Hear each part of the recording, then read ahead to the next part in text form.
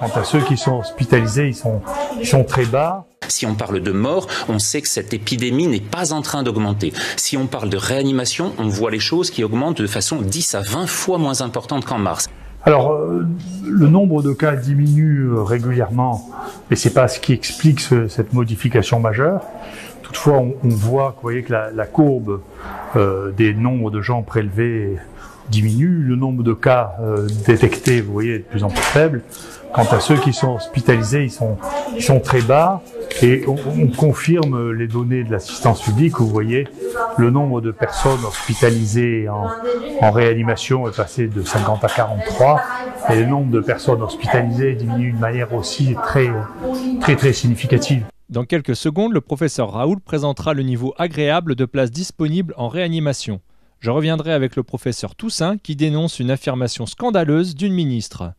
Restez jusqu'à la fin où je vous réponds plus en détail sur les certificats médicaux à propos du non-port du masque et le téléchargement du fichier qui établit l'illégalité de l'amende de quatrième classe en cas de non-port du masque.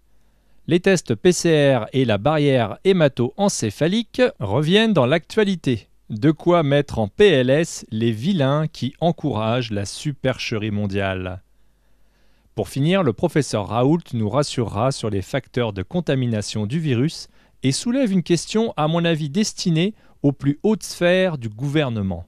Ce matin, on avait 15 lits sur 75 qui étaient libres, donc il n'y a que depuis la semaine dernière qu'on a des lits libres depuis, un mois, depuis plus d'un mois. On avait dû rouvrir des lits en, en anticipation d'hospitalisation au vu de l'augmentation des diagnostics.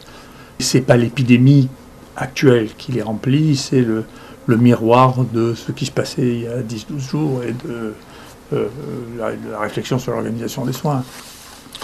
Euh, en, encore une fois, cette, euh, cette épidémie, cette partie de l'épidémie estivale par rapport à l'épidémie printanière, ne nous paraît pas à nous de même nature, parce que la première partie de l'épidémie, euh, où nous avions fait la même chose que maintenant. On testait tous les gens qui se présentaient, on a testé 140 000 euh, jusqu'en juin.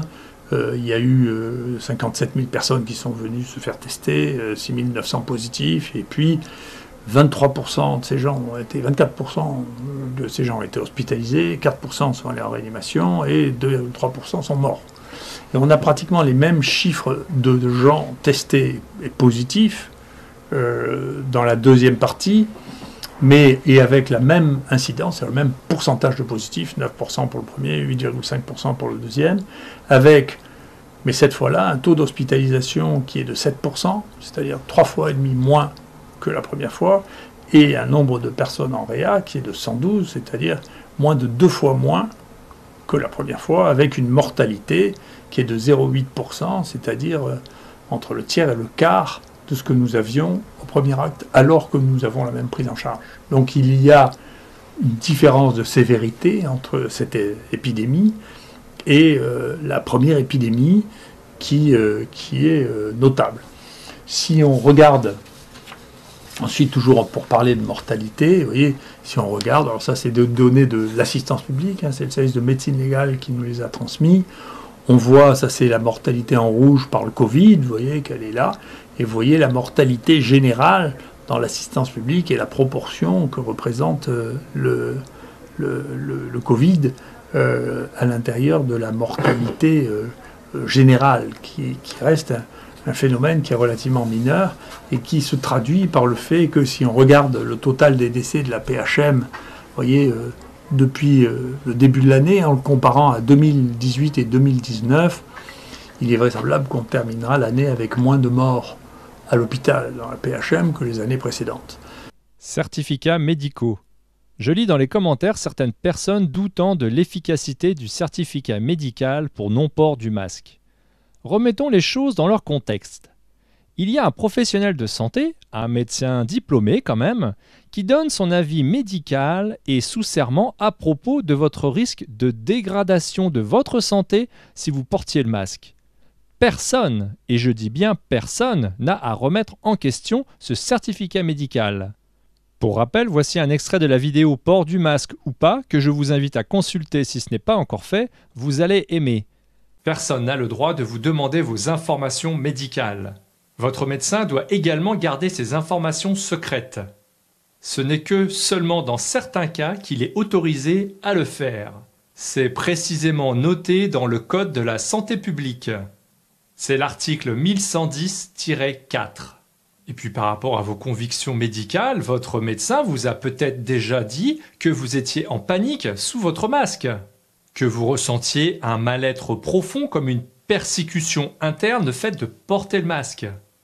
Ainsi, le port du masque va augmenter dangereusement votre tension artérielle. C'est contraire à votre sécurité physique et mentale.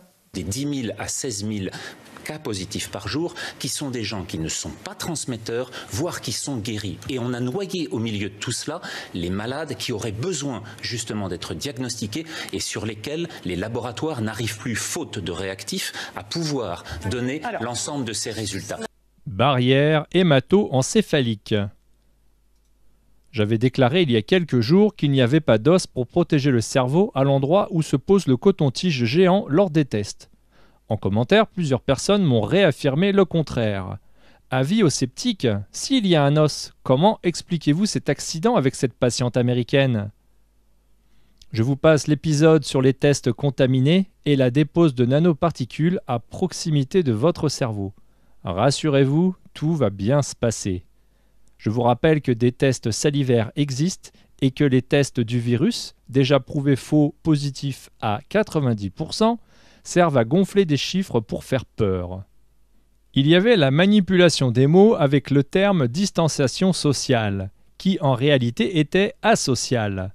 Maintenant, il vous explique que les gens positifs sont dangereux. Vous devez justement vous entourer de gens positifs, des gens qui n'ont pas peur, qui sont confiants, qui comprennent la situation dans son ensemble.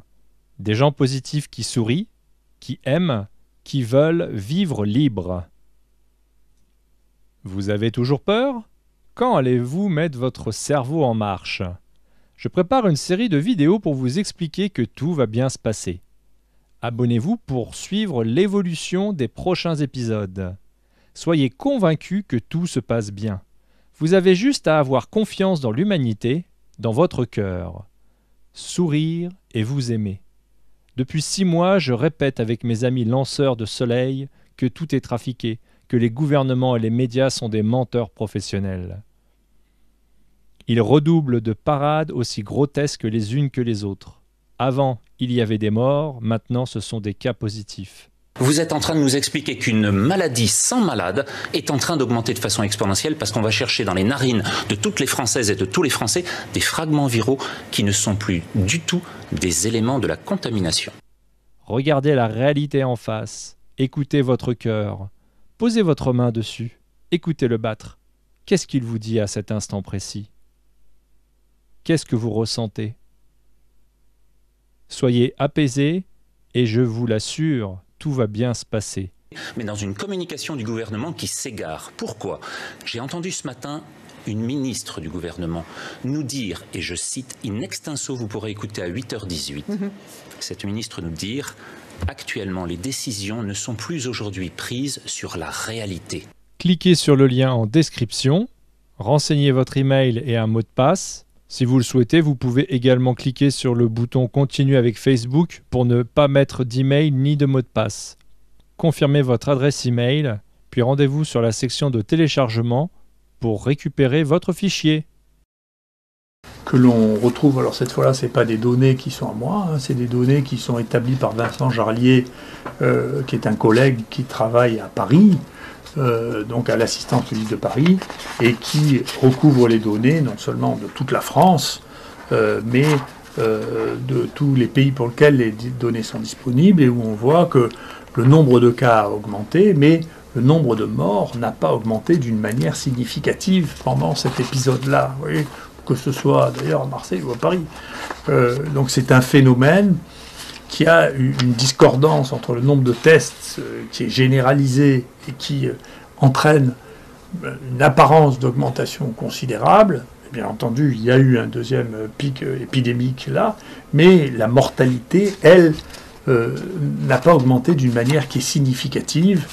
On le voit là, on le voit sur tous ces graphiques, hein. on voit une, une augmentation du nombre de cas détectés, mais une mortalité qui reste faible euh, et qui, euh, quand je vois, c'est des données qui sont complètement indépendantes des miennes. C'est pas moi qui influence, chacun imagine, l'intelligence de la science publique de Paris. Le troisième point, c'est qu'il a fait un très très joli travail de corrélation pour tenter d'expliquer pourquoi il y avait une différence de mortalité euh, dans, euh, les, euh, différentes, dans les différents pays. Puis on regardera dans les différentes zones. Alors dans les différents pays, il a regardé si le nombre de, décès, ce qu'il appelle le taux d'attaque de décès, c'est le nombre de décès par population, était lié à la densité de la population dans le monde. Et il n'y a pas de rapport. Donc pas de rapport clair. Deuxièmement, est-ce que c'est l'urbanisation? Et la réponse est non, il n'y a pas de rapport non plus c'est une illusion d'optique, c'est parce que, bien sûr, il y en a plus dans les villes parce qu'il y a plus de gens. Est-ce que c'est lié au fait que la population dans un endroit donné a plus de 65 ans, ce qu'on pouvait attendre comme étant euh, raisonnable Et la réponse est non, non plus. Et donc, euh, en revanche, le seul point de ce qui a été évalué dans ce travail qui joue un rôle, c'est la précocité de la mise en place des tests diagnostiques. Et là, il y a une différence très significative qui explique en grande partie pourquoi il y a eu des problèmes de décès aussi importants en France, en particulier en dehors des zones dans lesquelles euh, les choses n'étaient pas testées de manière systématique. Ce que l'on voit en plus maintenant, ce qui commence à sortir en France, c'est une des données que, que j'attendais depuis longtemps. Je remercie les gens de, l'établissement français du sang de nous en avoir euh, confié une partie. Et une autre partie est actuellement euh, en préprint. Euh, c'est que maintenant on peut mesurer quelle a été l'importance de l'épidémie dans les zones dans lesquelles ceci a été testé. Et c'est très intéressant parce que ça recouvre exactement, nous, l'incidence euh, chez les gens testés des différentes euh, régions de France. Il y a des gens qui sont venus se faire tester à Marseille, d'un peu partout en France, parce qu'ils ne pouvaient pas se faire tester ailleurs. Et donc on a eu des gens d'Île-de-France, des gens de l'Est, des gens de Nouvelle-Aquitaine. Et on a les séroprévalences, c'est-à-dire le taux de gens qui ont été infectés.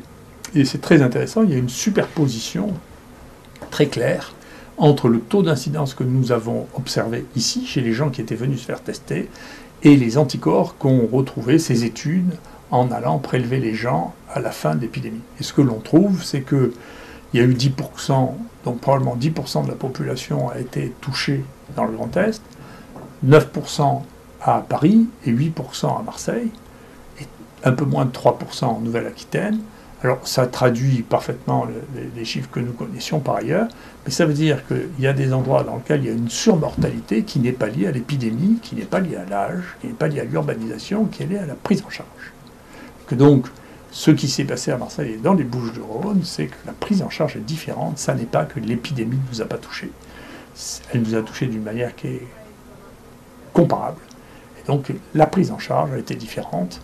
Et il faut réfléchir sur, cette, sur ce phénomène de manière à éviter que euh, dans des situations qui soient comparables, on se retrouve avec des différences aussi considérables d'une région à l'autre, alors que la diffusion de la maladie n'a pas été très significativement différente.